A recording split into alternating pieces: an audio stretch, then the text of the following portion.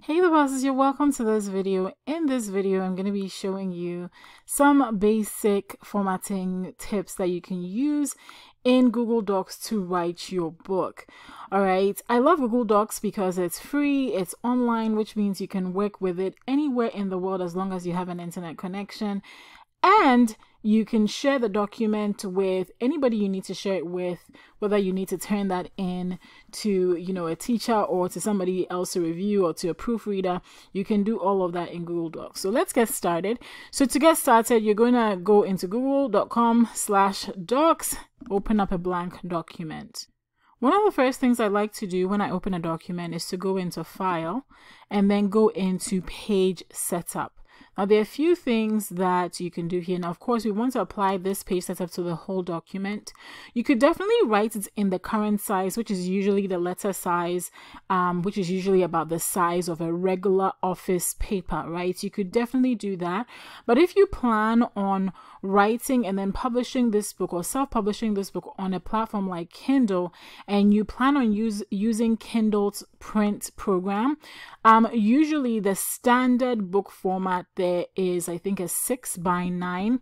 And the closest to that in here is this statement, um, this statement format. So I like to go with this 5.5 inch by 8.5 inch because it fits really well with the 6 by 9 um, inch features that Amazon Print has or Kindle Print has. So then I also go ahead and then pick the margins. I'm going to leave this as is. And now our document is sized to what I want it to be. So usually this first page will be your cover page and there's a lot out there on what you can put on your cover page but typically this is where you're going to have your title and where you're going to have your name. And so it would be something like title and name. And we're just going to keep that there as a placeholder. Now to actually get into the content of your book or to get to the next page of your book one of the things i like to do is actually go to insert and then go to break and then go to page break. What this does is that it sends you to the next page. So you don't have to hit the enter button all the way down here. It just takes you to the next page, which tells this program that you're starting, that you are starting your book on this page. And so, whatever you end up typing on this cover page, no matter what you do, this page, because you just inserted a page break, every time you, no matter what you insert here, this page, this second page, is always going to start at the top. It's not going to be pushed down by what you're typing on the previous page. And I think this is really important as you write your book and as you write new chapters that each time you write a new chapter, so we'll go ahead and write um, chapter one here. So, chapter one. We'll put that in some kind of title case so we, we can highlight that go here where it says um, text styles and then we're going to click on heading 2 for instance. And then once you have that let's assume that you've written some text here we're going to insert another page break.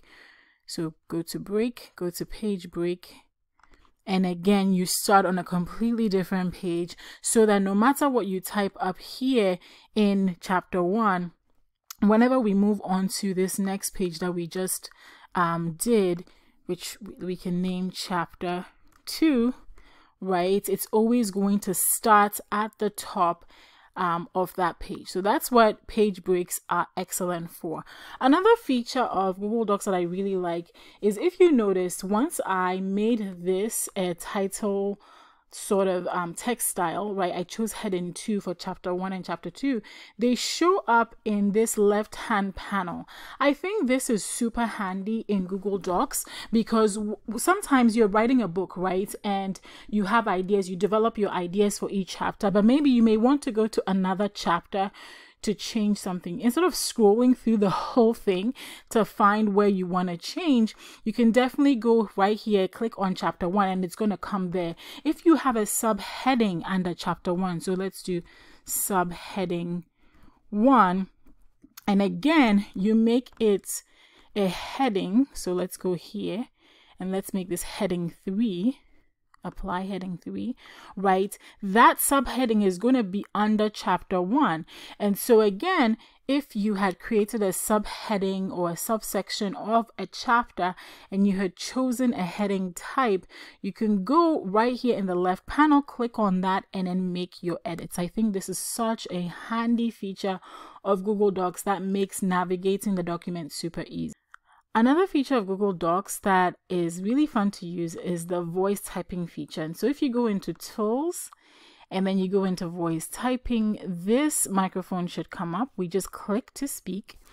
And so here I am speaking into a new document. And this is pretty exciting because each time we say words, it shows up here in our chapters, period. Now, when you say new paragraph, you're going to jump to a new paragraph. And that's also pretty nifty. So if there's a day you definitely don't want to type, using your Google Docs uh, voice typer can be really helpful and you can go back and edit later on. Now, I don't know about you, but sometimes when I'm writing, I like to know my word counts.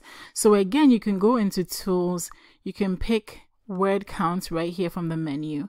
And then you can see your word count but if you wanted to display your word count as you were writing you can just go ahead and click that box right there click ok and you get to see your word. And i think this is helpful if let's say you have a goal that you are trying to meet um, with your writing. And so let's say this is a paper in this case i'm doing this for specifically for books but if you're writing a paper for instance you could definitely um or a book uh, you could definitely track your word count by using this tool. Now to insert your page numbers you're going to go to insert you're going to go to page numbers and there are various styles that you can choose from you can choose it so that it actually starts counting and leaves out the cover page, or you can start counting from the cover page. I like it this way, and so I'm going to use that.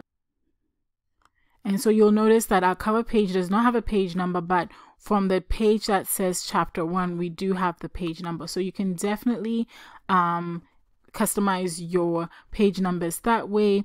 Um, and if you want to further customize those page numbers, you could definitely go into page options and then, um, you know, click where you want the numbering to start from. Now, this tip is going to be helpful to you if you um, are going to be writing and publishing this as a physical book. Usually, as an ebook, it doesn't matter so much, but as a PDF document or let's say a, a physical book that will be printed, printed on demand, you could also go again into insert and then insert a header and footer. We're going to insert a header here. And for this header, let's say we just choose book title. Okay as our title. In this case, it's just really generic. Um, and this will be applied to all the pages within your document so that you have that header title. You don't have to type this in all the time. You can just type in header and it's going to apply to all pages. So as you can see here, if we scroll down, you'll see book title 2 on the next page. Another thing you can do with your book is insert images. Now I will warn you that if you plan on publishing this to an ebook format, you always have to be careful with images because sometimes they don't always show up the way you want them in um, in an ebook. But you definitely can insert um, the image here. Um, so what you'll do here again is go to insert.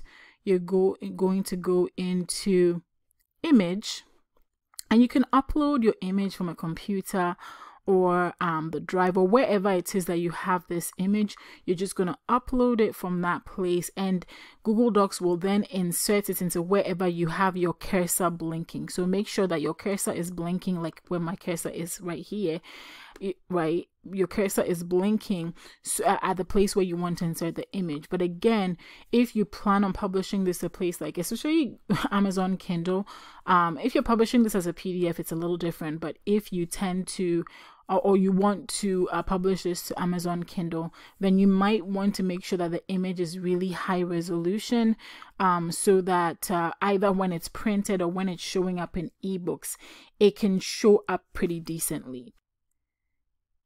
And of course, we know that Google Docs automatically saves your document to the cloud. So as you're making all these changes, Google Docs is saving it. So even if you accidentally close this out, you haven't lost your book it's still saved um, in your google docs and i think that it, that is pretty cool. This is just a basic video on um, the different formatting uh, tools that you can use within google docs to write your book. If you found this helpful make sure to give it a thumbs up and if you're not subscribed consider subscribing